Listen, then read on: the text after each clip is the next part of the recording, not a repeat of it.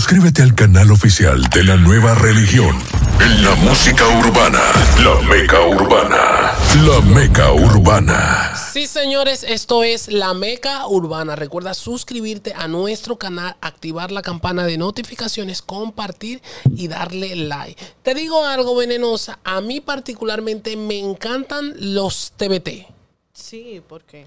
Porque mira, con los TBT uno recuerda eh, sucesos, episodios, personas que hasta hoy en día no están presentes. Y te digo esto porque hoy acá en la Meca Urbana vamos a hacer, o mejor dicho, vamos a ver varias fotos históricas en el género legendarias. Y como esto es la Meca Urbana, siento que este es el lugar apropiado para ver esas fotografías. Así que producción, colócame la primera fotografía, por favor.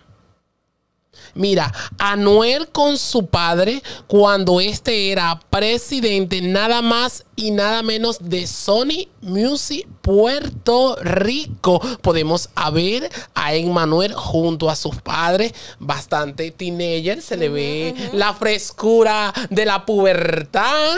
¿Qué tú opinas, Venenosa? Eh, opino que Anuel se ve tan inocente, se le ve ahí como que un poquito ingenuo pero la mirada no miente. Esa maldad, como que se le. De bandolero. de bandolero. Que, que te gusta, perversa, Me encanta. Y realmente, mira, la evolución de Anuel ha sido para bien. Y mira, y te digo algo, tal vez Anuel es de los artistas que tiene más conocimiento de música, pues como tú puedes ver, el papá de él era nada más y nada menos de esta empresa tan grande como lo era Sony Music de Puerto Rico. O sea, Anuel sabe de música. Anuel es muy difícil de firmar un contrato y salir perjudicado. Sí, sí, tiene conocimiento. Producción, colócame la otra imágenes. Mira esto.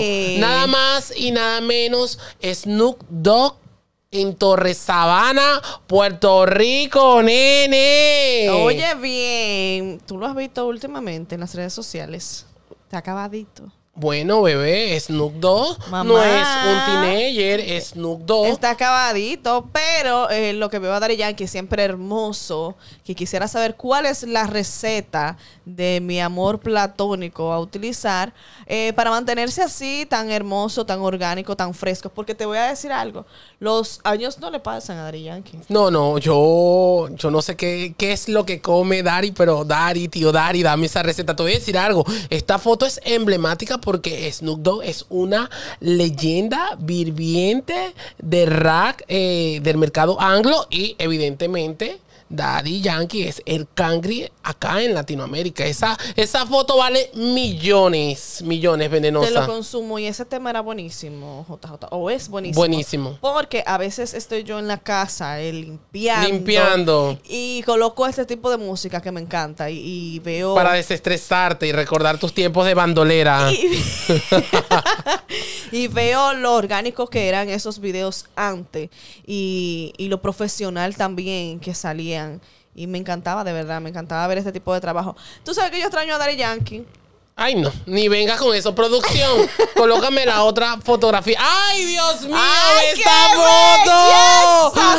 Anuel con Justin Arcángel antes de pegar una canción. Ahí vemos cómo se ve un artista o mejor dicho, cómo se ve un artista en sus inicios. Este, este tipo de imágenes, Anuel y Arcángel, pudieran como visualizarla y darse cuenta de que anteriormente ellos tenían una bonita relación que el tiempo pasa, señores, que debe existir el perdón, las oportunidades, porque Arcángel y Anuel se veían bien como amigos, se veían juntos bien cabrón, como dicen los puertorriqueños. O sea, entiendo de que, de que ese TBT pudiera ser parte de una reconciliación.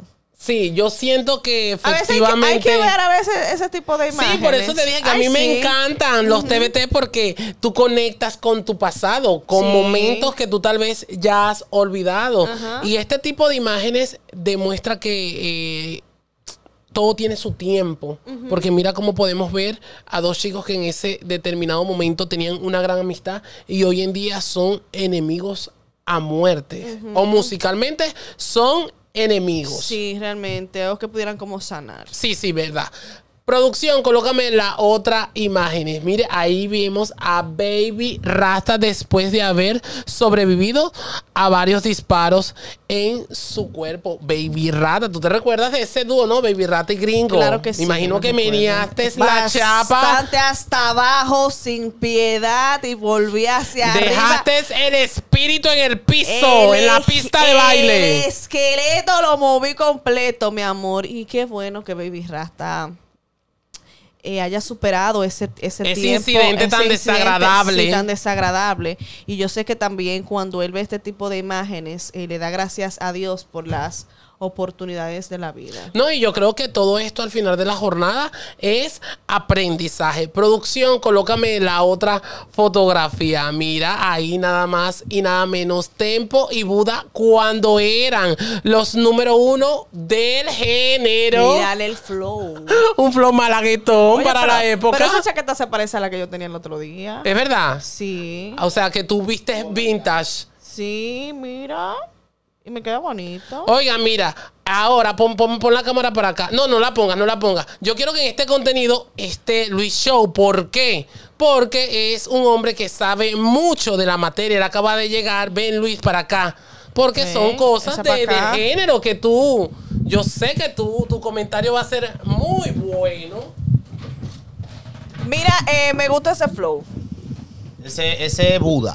Me gusta ese Y flow. Tempo antes de caer preso. No, pero ya va, Cuando vamos a te- darle. cuando Tempo Pon, estaba pon, pegado. pon, pon, regresa aquí, regresa al estudio. Cuando Tempo estaba pegado. Regresa al estudio que voy a darle la No presentación. cuando, ¿verdad? Porque eso fue antes de caer preso, que entonces después. no, pero entonces- ponme a mí que voy a darle la presentación al No, líder. pero ya déjame aquí, ya, ¿por qué? Pero después con, formalidad, después tú que Claro, un banco, esto es la. Esta es urbana. Mira, eh, hay muchas fotos interesantes ahí. Tanto ya de la que ustedes han hablado como esa de Tempo. Esta, esa, pero ese, era, ese era el momento prime de Tempo. Ahí Tempo era eh, lo que en un momento pocos soñaban del género porque Tempo firmó prácticamente. Tempo llegó a chartear con los artistas americanos. Antes que Yankee, Yankee antes que todos esos tigres primero lo hizo Tempo antes de caer preso. Ok. Ujú. Ponme la foto ahí. Y el vaqueo de Tempo era el que está en el medio, Buda. Ok. Era el vaqueo de Tempo. Eh, que por esto fue también la, la- la molestia de un momento de Tempo y, y, y Coscuyuela, es una tiradera también que se dio. Igual también Anuel lo utilizó. Mencionó. Vamos a seguir viendo ahí fotos, producción. Eh, Daddy Yankee. En muleta. Eso fue cuando a Daddy Yankee, eh, en un atentado, le dieron un tiro en una, en, en una presentación.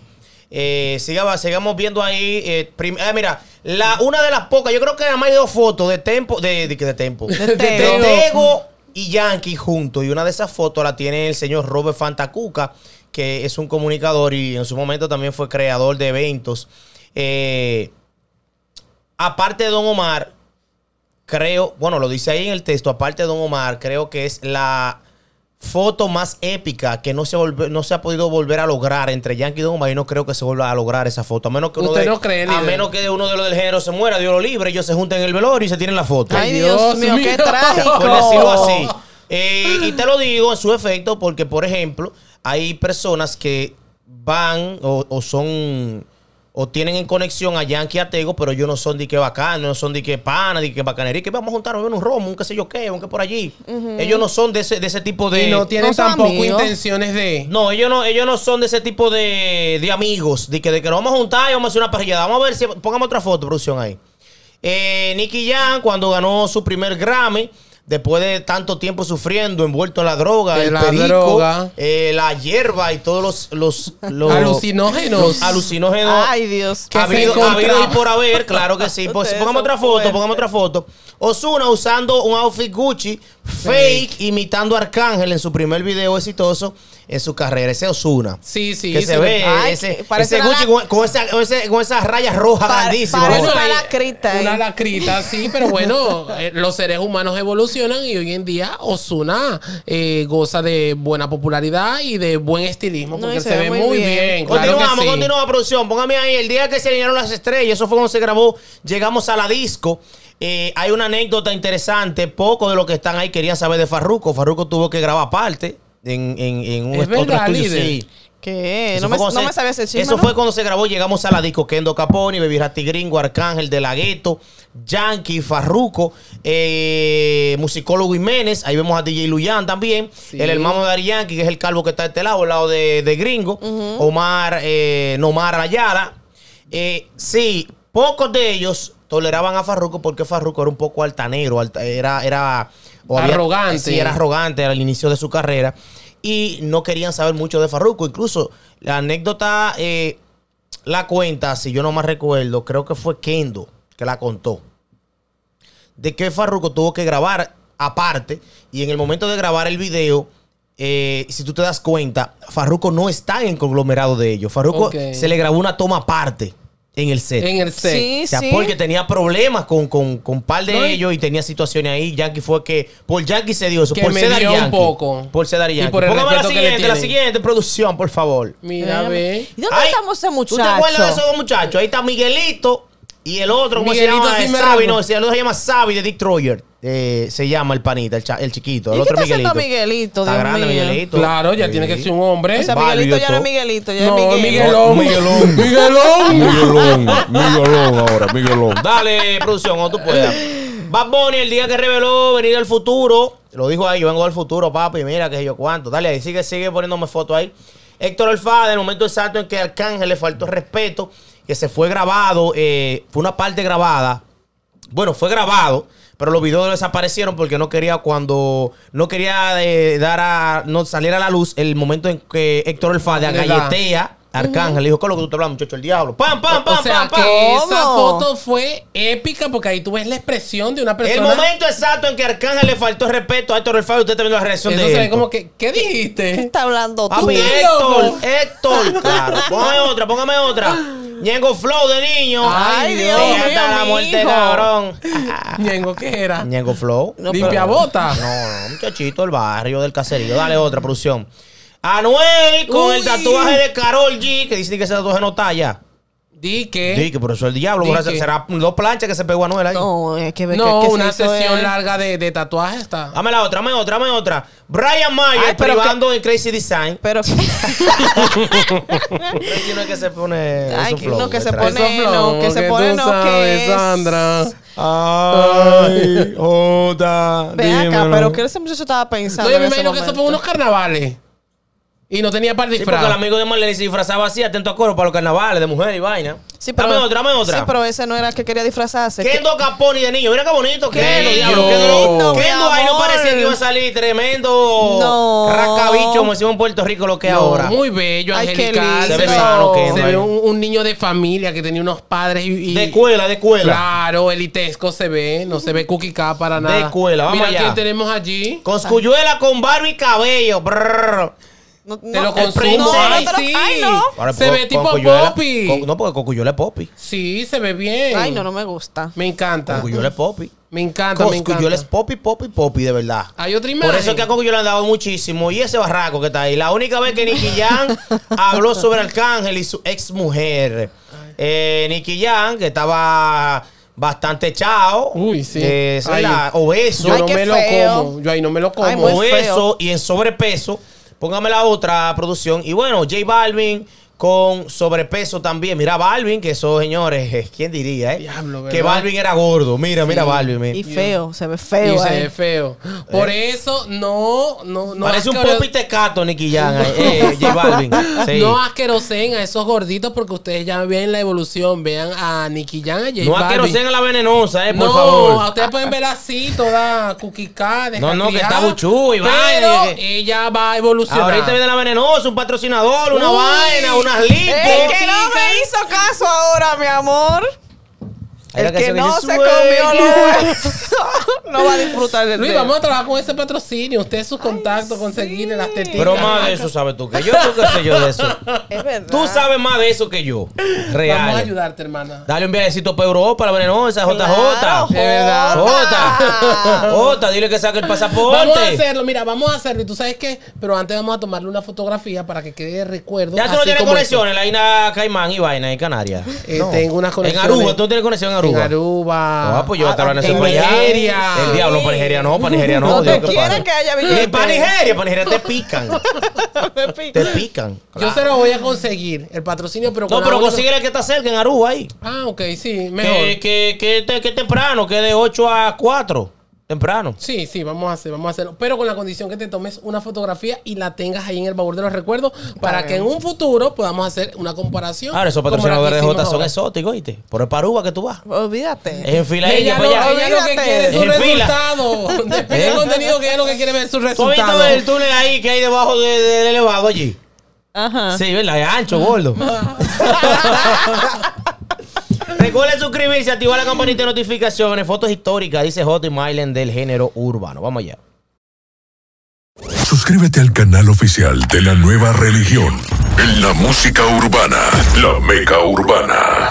La meca urbana.